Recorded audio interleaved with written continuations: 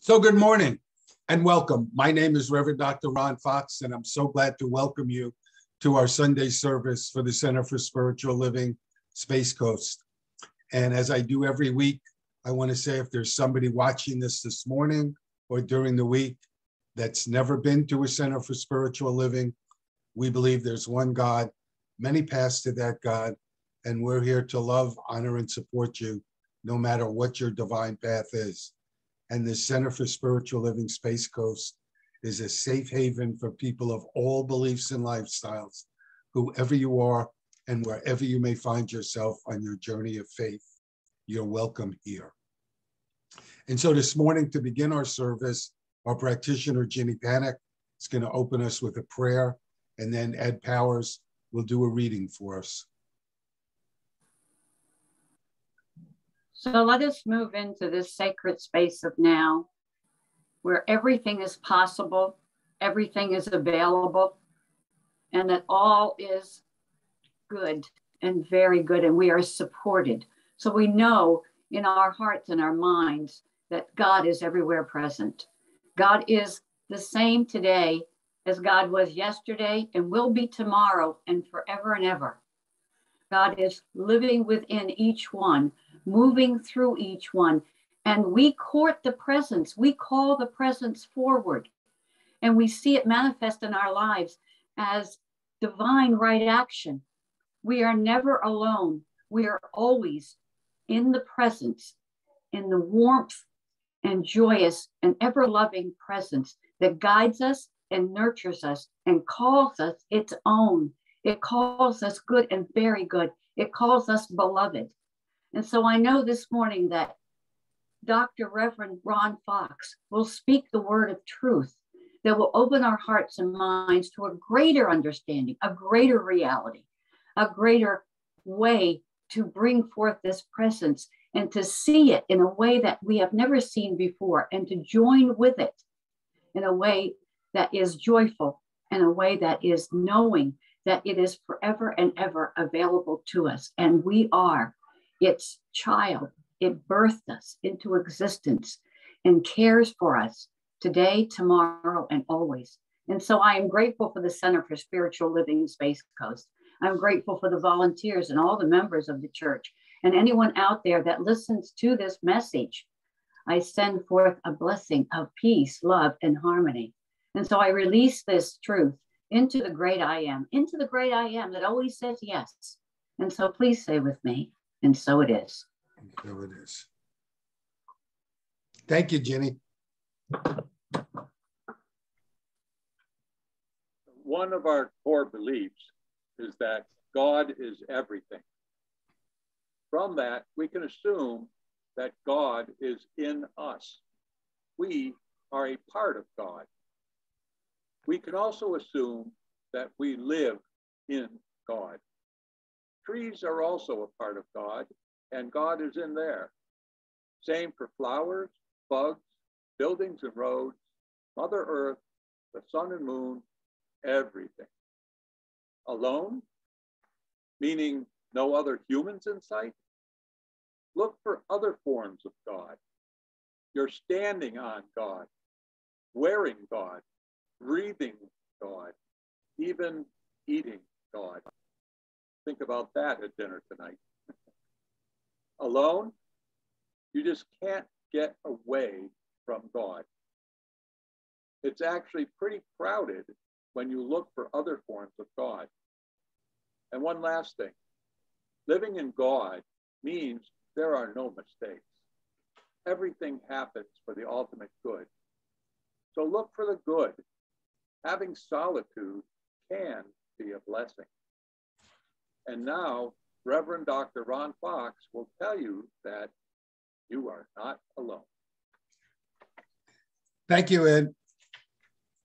So, in case anybody didn't get it, that's my title this morning. You are not alone.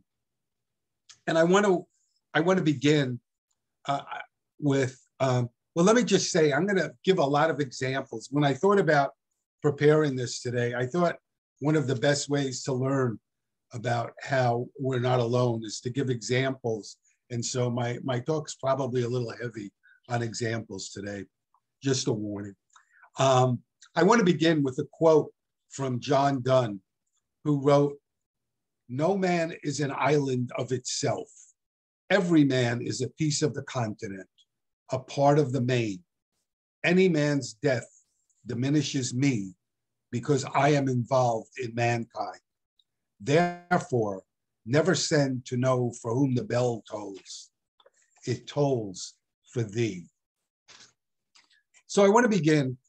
Piero Ferrucci, I've spoken about him before. He's written a number of really wonderful books um, on caring and kindness. And um, in one of his books, he he talks about he lives in Italy, and he talks about how he lives way out in the countryside, and so in order for him to get to the highway so he can get to work, he has to drive over a lot of back roads. And one day he finds himself following somebody who's on a tractor. And every few meters, uh, Ferrucci says, this fella stops to speak to somebody on the side of the road. And he goes on and he stops again and again. And the road, it's a back road, like I said, it's too narrow for Ferrucci to pass him. And he can't blow his horn because that would be considered so rude in, in the society of Italy that it's just something that's not done. And he's getting angrier and angrier. And all he can do is wait. And then he says, he realized what's going on.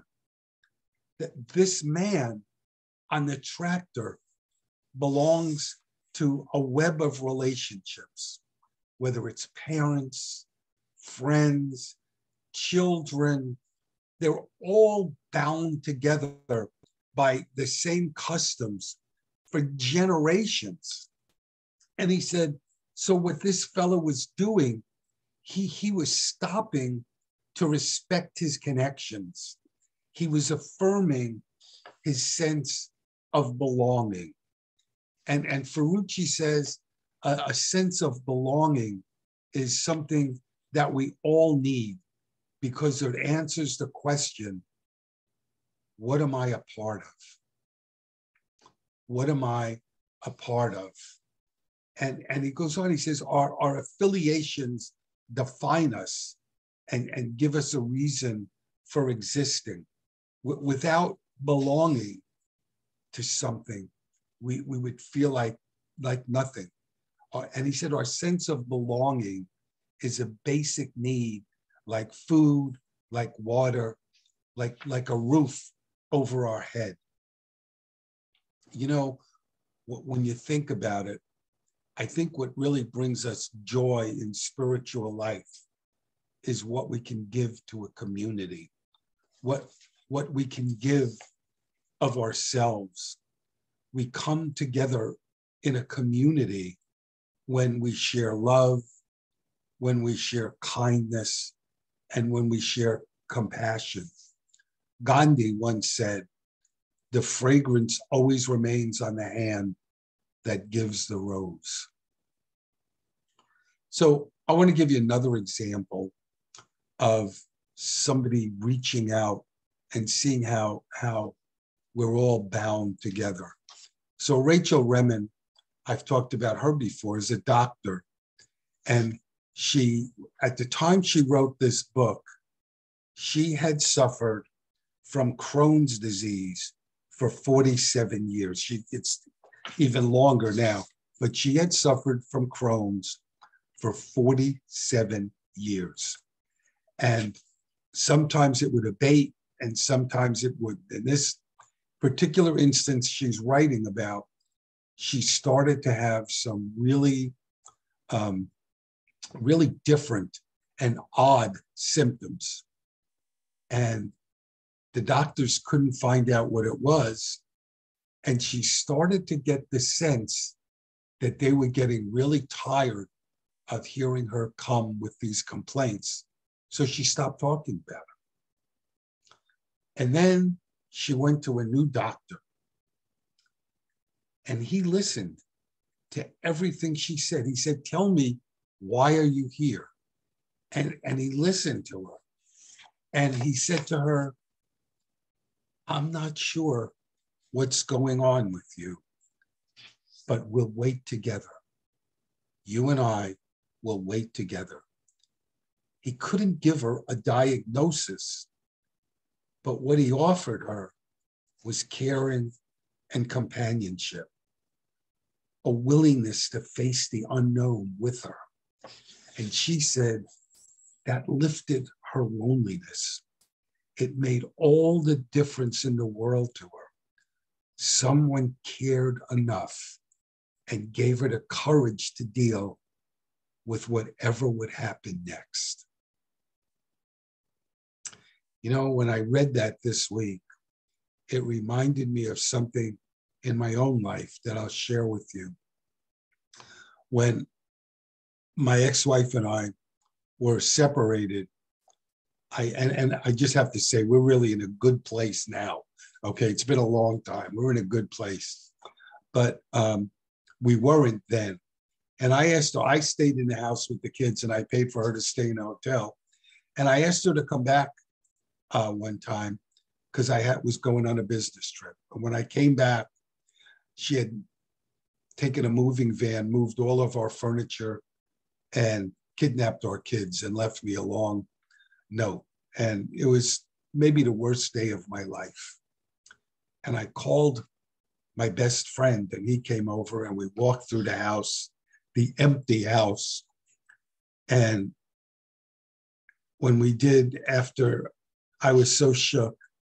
And what I remember is he took his hand and he put his hand on my shoulder and he said, Ron, don't worry, we'll get through this. He didn't say you'll get through it. He said, we'll get through it.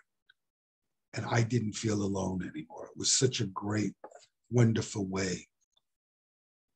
That's what we're talking about. We're never alone. So Barbara DeAngelis wrote what I think is a really great book. It's one of my favorite books. It's called Real Moments.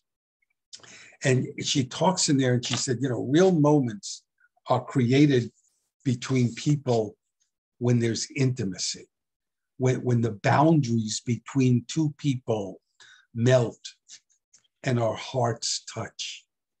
And she said, love makes everything sacred it offers the opportunity for deep spiritual awakening. Because when we love somebody, our boundaries dissolve and, and we transcend the illusion of separation. And, and I want to read to you uh, what she said was her vision for her and her husband's relationship. And, and then I'll tell you why I'm reading this. There are three things. The first one she said they were brought together for the purpose of helping each other grow. They're each other's teacher. Second thing she said, the relationship is a precious gift. It will take them through what they need to learn. And the third thing she said was the challenges and difficulties they experience will illuminate their most needed lessons. Now, I want to read them again think about that rather than just a couple's relationship. Think about all of us living in this community and being being together. Can we see that we were brought together for the purpose of helping each other grow and that we're each other's teachers? Can we see that our relationship, our community, is a gift that could take us through what we need to learn? And can we see that the challenges and difficulties that we experience will teach us what our most needed lessons are? It's all here for us. So, Rachel Remen, who I just talked about, writes in one of her books when she was teaching, I think it was at Stanford, they had Carl Rogers come in to talk about his um, beliefs about psychology and about humanity.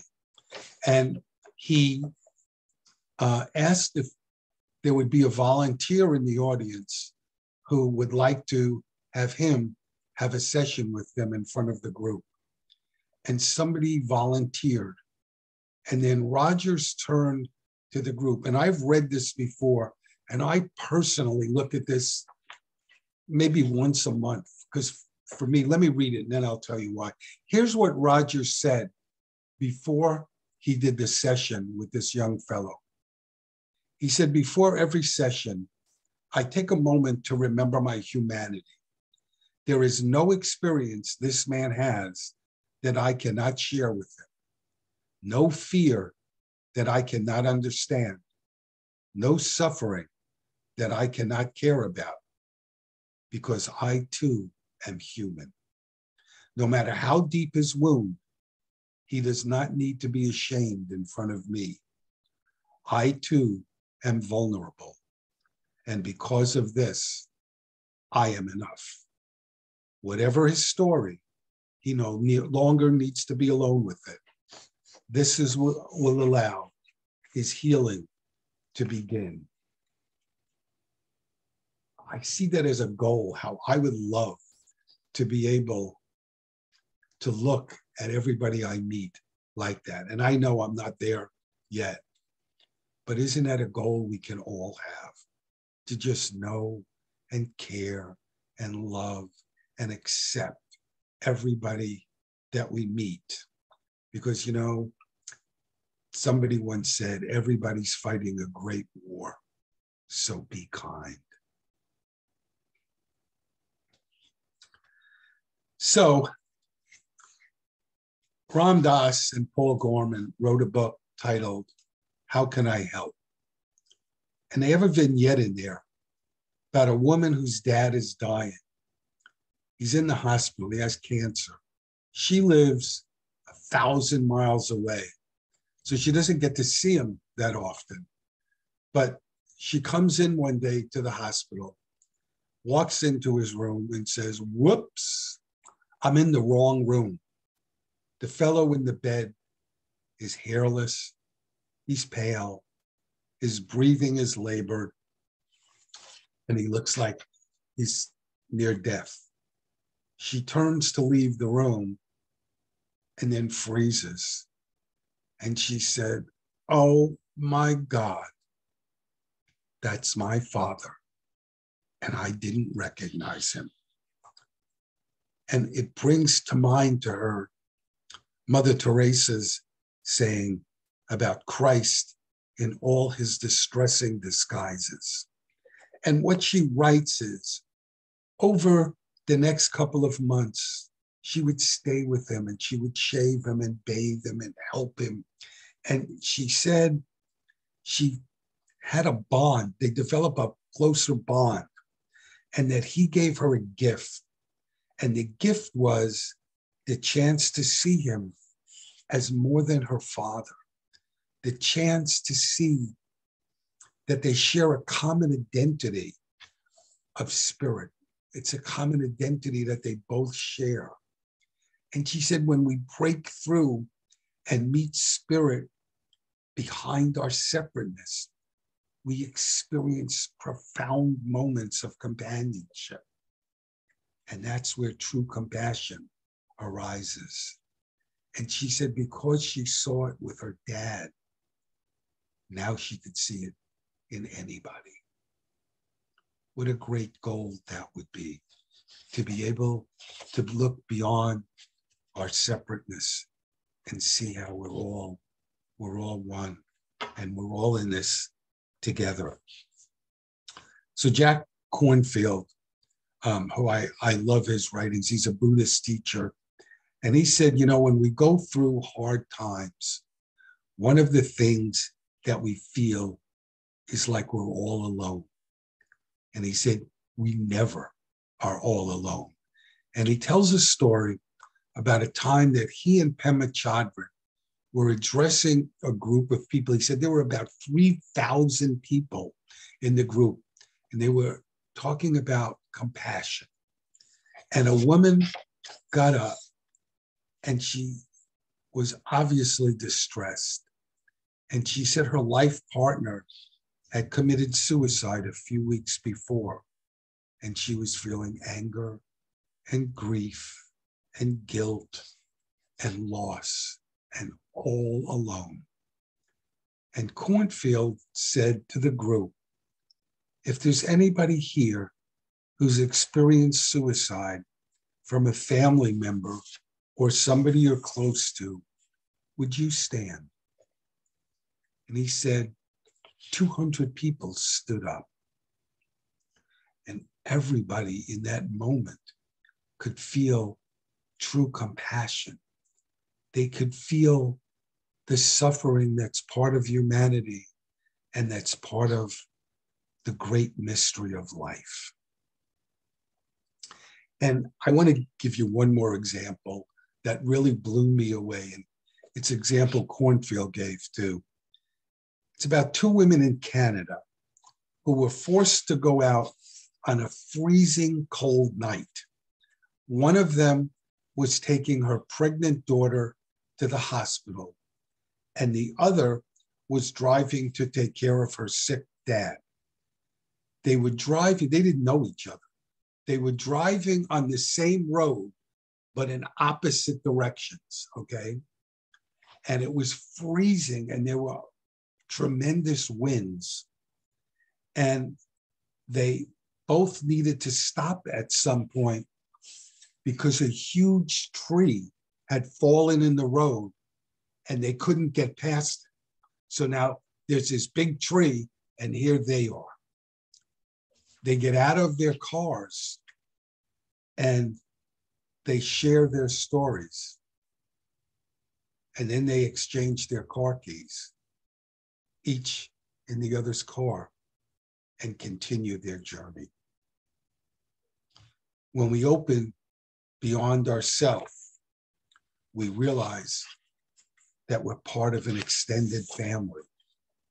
We aren't separate, we're interdependent. We can hold all of the beauty and all of the pain of life in our heart, and we can breathe together with courage and compassion. And so I want to close with something from Reverend Mary Morrissey. Um, and, and she called this a, um, a spiritual principle. She said, You are a child of God who is the unconditional giver of life itself. By learning to give without keeping score, you enrich your relationship with God, with others, and with yourself. It is, the, it is, it is in the act of giving that you truly receive. God bless you. Thank you for being here this morning and have a great week.